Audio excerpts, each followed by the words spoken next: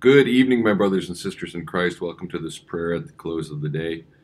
It is Sunday, the 16th day of January, year of our Lord 2022. I do pray this finds you well this evening. It was very cold, uh, very cold morning this morning. It moderated a little bit, not quite as cold right now. A nice youth group tonight. We did a uh, uh, an outing. went to a, a, local bowling alley. It was a lot of fun. Had a nice group of kids. Our, we're very blessed at Immanuel with these young men and women, and uh, just a lot of fun to be around and kind of fun to get around with them and watch them bowl. I, I am not a good bowler, and some of these kids are really good bowlers. Uh, we, we just had a, a, good time, so it was a lot of fun. I do pray for your continued support of our youth and the things we do at Immanuel to work with our youth. In the name of the Father, and of the Son, and of the Holy Spirit, Amen. The Lord Almighty grant us a quiet night and peace at the last. Amen. It is good to give thanks to the Lord to sing praise to your name, O Most High, to herald your love in the morning, your truth at the close of the day. And once again, we turn to the daily lectionary, the New Testament reading, picking up where we left off last night with St. Paul's letter to the Romans, the seventh chapter, specifically verses 1 through 20. Or do you not know, brothers, for I am speaking to those who know the law, that the law is binding on a person only as long as he lives. For a married woman is bound by law to her husband while he lives. But if her husband dies, she is released from the law of marriage. Accordingly, she will be called an adulteress if she lives with another man while her husband is alive. But if her husband dies, she is free from that law. And if she marries another man, she is not an adulteress. Likewise, my brothers, you also have died to the law through the body of Christ, so that you may belong to another, to him who has been raised from the dead, in order that, in order that we may bear fruit for God. For while we were living in the flesh, our sinful passions, aroused by the law, were at work in our members to bear fruit for death. But now we are released from the law, having died to that which held us captive, so that we serve in the new way of the Spirit and not in the old way of the written code. What shall we say? That the law is sin? By no means. Yet if it had not been for the law, I would not have known sin. For I would not have known what it is to covet if the law had not said, You shall not covet. But sin, seizing an opportunity through the commandment, produced in me all kinds of covetousness. For apart from the law, sin lies dead. I was once alive apart from the law. But when the commandment came, sin came alive, and I died. The very commandment that promised life proved to be death to me. For sin, seizing an opportunity through the commandment, deceived me, and through it killed me. So the law is holy, and the commandment is holy and righteous and good. Did that which is good and right did that which is good then bring death to me? By no means. It was sin, producing death in me through what is good in order that sin might be shown to be sin, and through the commandment might become sinful beyond measure. For we know that the law is spiritual, but I am of the flesh, sold under sin. For I do not, I do not understand my own actions. For I do not do what I want, but I do the very thing I hate. Now, if I do what I do not want, I agree with the law that it is good. So now it is no longer I who do it, but sin that dwells within me. For I know that nothing good dwells in me that is in my flesh. For I have the desire to do what is right, but not the ability to carry it out.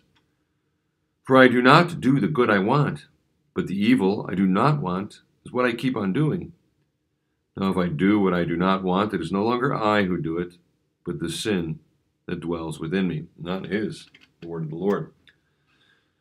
So, Paul continuing this argument, and it really comes to a beautiful conclusion um, in the end of chapter 7, which we didn't get to tonight, and the beginning of chapter 8, actually all of chapter 8.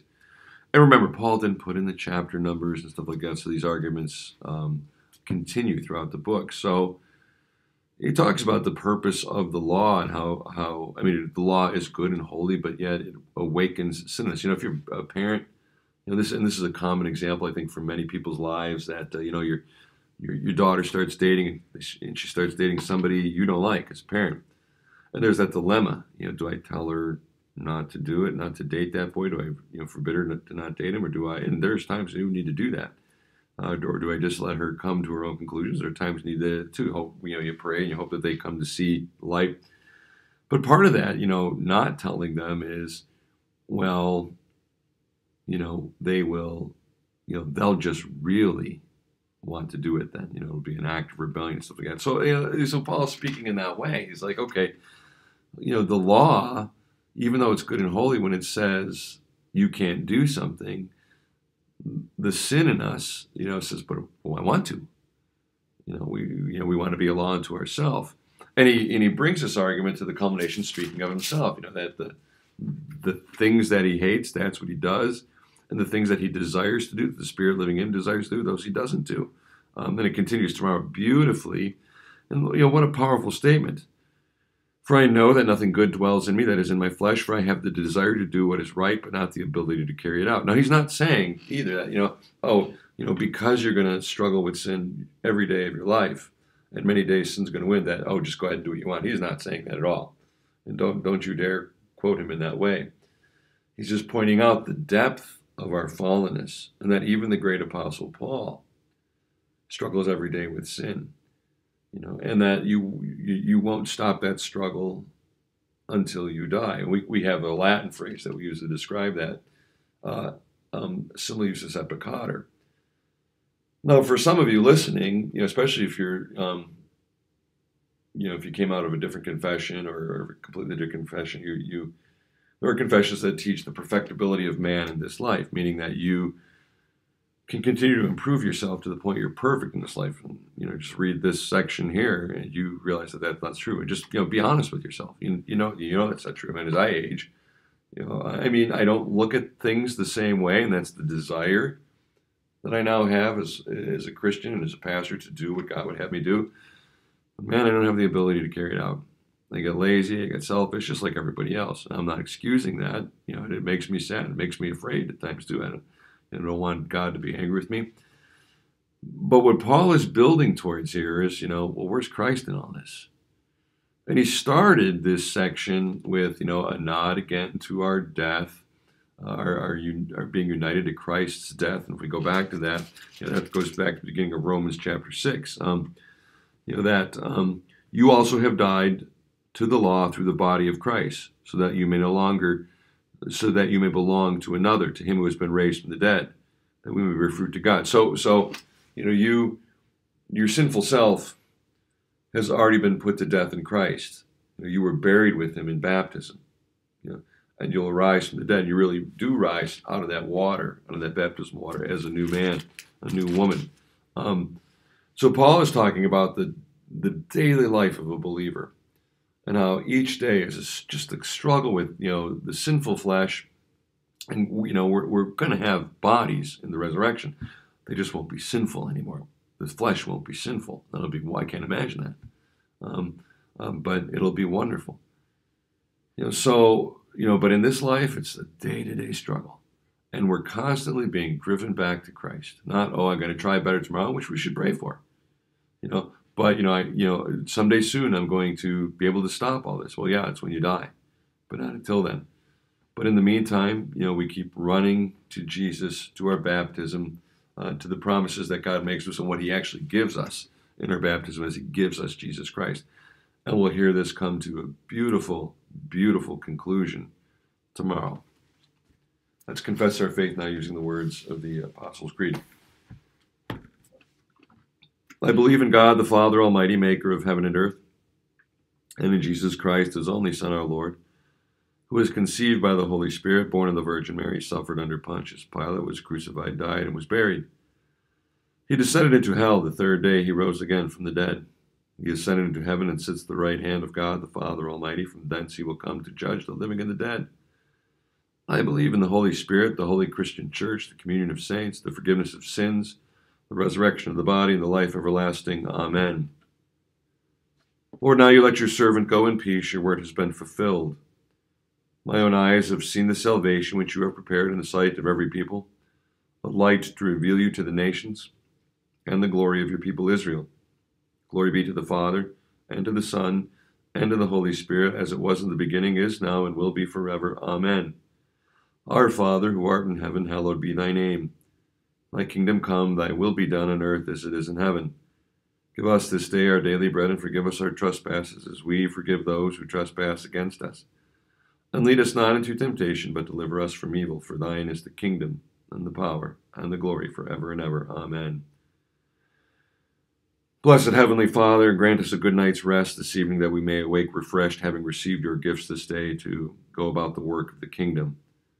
Bless our work week, uh, that we may be fruitful in our employment, uh, whatever, in our vocations, whatever that may be and um, that we may be a blessing to our neighbors. Heavenly Father, do give you thanks for uh, the young men and women, the youth of our church and our surrounding churches. Uh, continue to bless them with your spirit, uphold them in these dark and latter days that they may boldly confess. Guide us as uh, their mentors and uh, uh, those who are called, uh, good or bad, to influence them. but we pray that we are called to, uh, we know we are called to influence them in a good way, but often our actions speak otherwise. But Heavenly Father, bless us too that we may uh, be good examples for these young men and women and teach. Uh, grant us wisdom in what we teach them to prepare them for the questions and for the uh, issues that will arise uh, as they face a world that is increasingly hostile to the faith. I do give you thanks for the adult leaders that uh, help with these men, these young men and women. They're a great blessing to these children and these young men and women and to me. So uphold us all, and we do pray that our, our youth group would continue to bear fruit uh, and bring glory to your holy name. Heavenly Father, as always, we pray for those uh, who have requested our prayers. And tonight we pray for those who are crying out for healing, for our brother Dave, who remains hospitalized, my brother in Christ Dave, and his wife Sandy, who is improving, uh, uh for uh, uh, their family member Dawn, uh, as she has to remain isolated from her family because of this pestilence, this disease. That you bless her with peace and a good knowledge of not only how much she is loved by you, but from, from those around her, the people of the church and her family.